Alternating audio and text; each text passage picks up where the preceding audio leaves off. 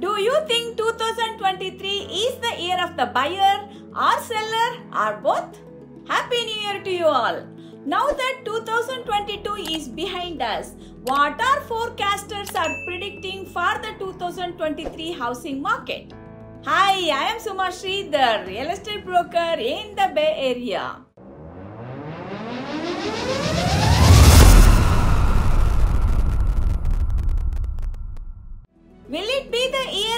Buyer or seller or both? According to Danielle Hale, chief economist at Realtor.com says that, and I quote, it is going to be a tough market overall for both the buyers and the sellers.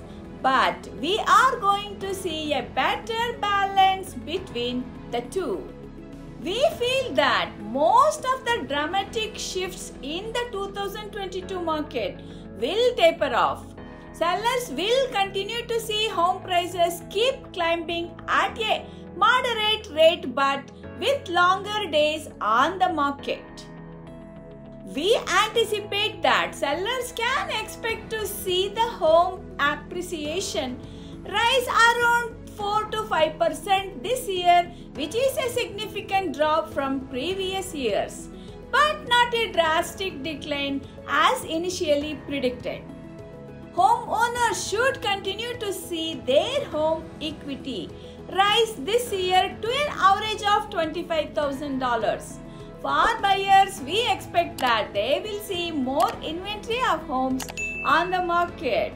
In fact, housing inventory is predicted to be up by 22.8% from 2022, giving buyers more homes to choose from. This increase in inventory is still lower than pre pandemic, which will also help sellers.